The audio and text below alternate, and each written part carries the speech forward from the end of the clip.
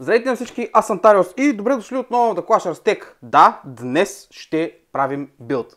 Може да пазарувате в ArdesBG с промокода TheClashers за 5% отстъпка от периферия и TheClashers PC за 3% отстъпка от лаптопи и компютри, независимо дали продуктите вече са намалени.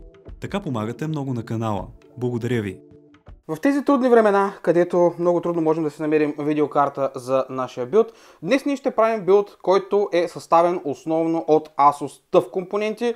Благодаря съответно на Ardes и на Asus за възможността да направим такъв. И разбира се, той ще е с новото Z590 TUF плюс Wi-Fi дъно на Asus и процесор 11600K. Лично за мен, може би най-добрия процесор на Intel от 11-та генерация. Добре, да представим малко по-подробно всички останали компоненти, които ще използваме в системата. Дъното Z590 плюс Wi-Fi на Asus. Това дъно всъщност е един доста голям скок от Z490 TUF дъното и е направено с много по-солидни VRM и охлаждане за самите тях. Разбира се, ще видите по-подробно да го коментираме в следващото видео, където показваме и как се представя цялостната машина. За видеокарта RTX 2060. Да, хора, 2021 имаме 2060 като опция за видеокарти, тъй като, честно да ви кажа, в момента е изключително трудно на пазара за видеокартите и е много трудно да се намери такава. Затова даже и видеокартата не е тъв вариант, ами е дуал. За процесор, както споменах вече, 11600K на Intel.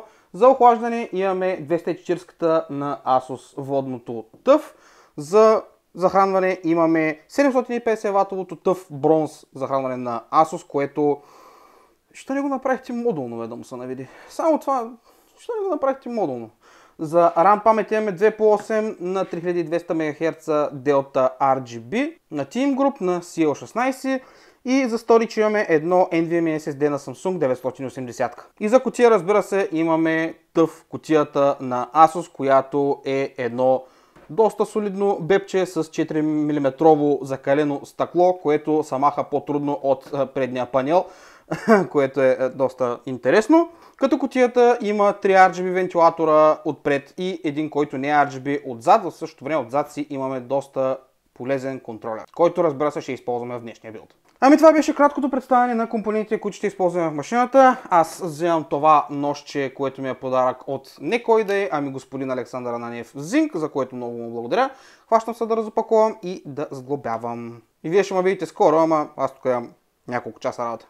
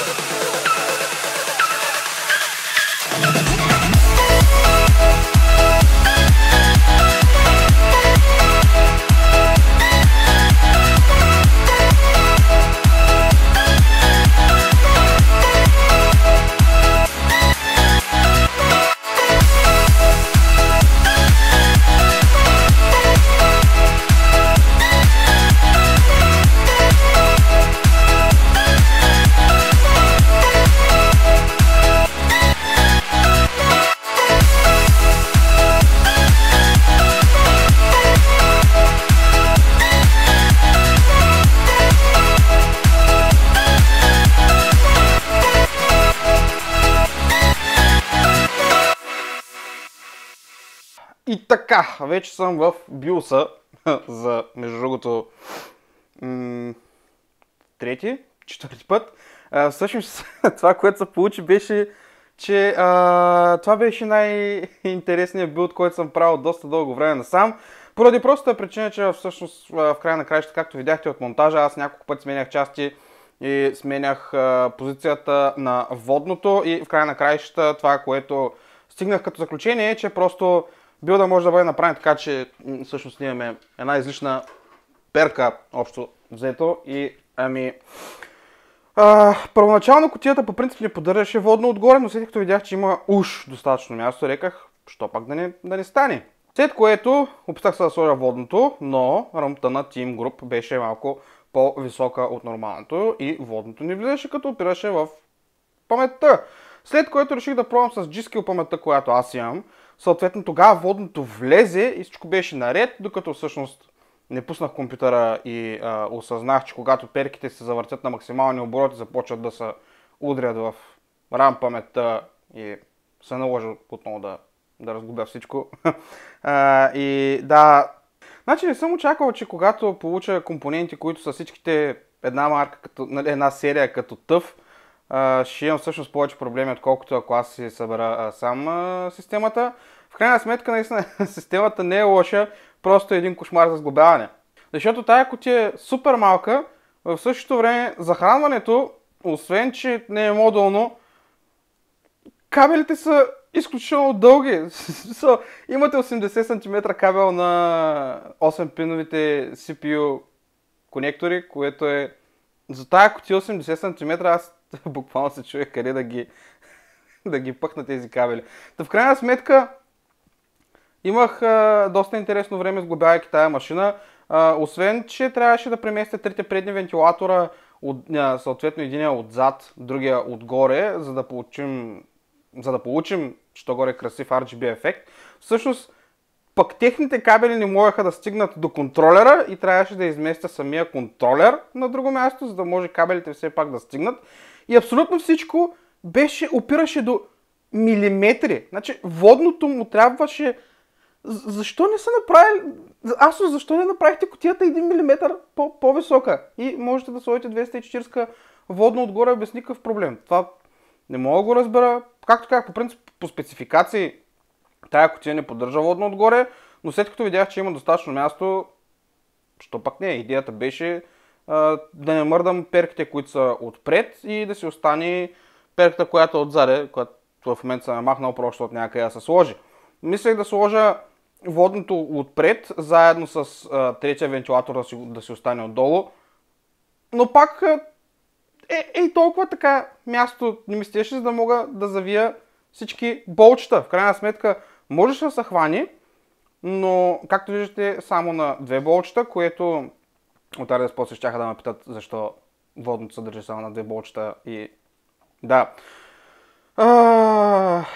По принцип, когато се занимаваме с тематични билдове, идеята е, освен, че нали, всичко ни е а, една тематика, в случая тъв, а, идеята според мен е да могат да бъдат лесни за асемблация. Да си го направим сами. Тук а, това не се получи особено и в крайна сметка стигна до заключението, че тая котия всъщност е по-добре да е с въздушно охлаждане.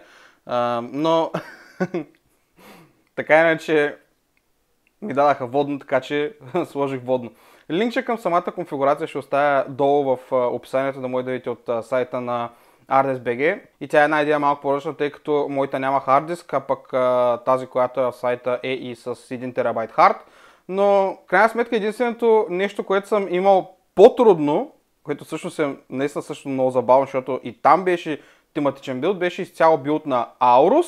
А, и този билд на Аурус ние го сглобяхме с Зинга преди време и тогава, също ако си спомня, ако гледаш този клип и си спомняш, тогава просто казах, че ако сам трябваше да го сглобявам този билд и да го снимам, направо ще да се фърля от някъде, защото беше абсурдно. Там в случая водното нямаше как да се монтира така, че да, да вкарва въздух в котията отпред, поради проста причина, че вентилаторите бяха а, вентилаторите са, могат да бъдат инсталирани само от едната страна и, и, и в крайна сметка обърнахме въздухопотока в котията и беше пълен филм. По принцип, според мен това не трябва да се случва и трябва да е доста по-лесно да се сглобявате машините сами, особено когато си правите някаква тематична система.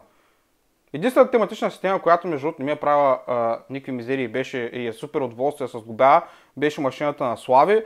Там определено, а, там определено беше доста по-различно, може би защото и захранването е 850 Вт Тор, който е изцяло модулен. Лично за мен тази котия просто не е за захранване, което не е модулно. Твърде малка. А пък поради някаква причина аз са решили техните тъв захранване да са с изключително дълги кабели. Нали, то не е лошо, ама е малко извън пропорции. Та, това беше сглобяването на този бебок. Вече в другия епизод ще ви покажа как се представя той реално в а, гейминга и всичко останало и защо мисля, че всъщност 11600K е най-добрия процесор на Intel за 11-та генерация. Ще ви покажа и фичерите, с които идва и дъното. Сега видях, че са пуснали BIOS апдейта на това дъно е и с включения Resizable Bar, който както знаете това е еквивалента на Intel и Nvidia за Smart Access, Access Memory от AMD. И ще видим общо взето това всъщност колко допринася към FPS-а в нашите игри. Това общо взето това беше моето приключение в към момента за сглобяването на този бебок. В крайна сметка, ако има някакви промени по а, инсталацията на нещата, предполагам ще ги покажа в следващото видео, защото специално за кабелите а, на захранването в момента съм махнал кадито за хард дискове, защото просто нямаше къде да сложа кабелите, които всъщност не използвам за билда от захранването. И да, ако видеото ви е харесало, знаете какво направите. Също така не забравяйте да се абонирате за канала с Камбанка, за да не ставате някои от нашите бъдещи видеа. Това определено беше забавно за мен, защото по принцип трябваше да отнеме няколко часа, то отне много повече. И да, надявам се и вие също да се забавлявате така както аз се забавлявам докато гледате видеята. И разбира се, може да оставите долу коментарче какво мислите за машината като цялостна идея. Относно цената, Както знаем в момента поради цената на видеокарти тя е абсурдна, но въпреки това тази машинка е нещо с която бих казал, че може без проблем да играете на Full HD 144 Hz. Ами, за сега от мен толкова. Аз съм Тариус. Чао и нови срещи!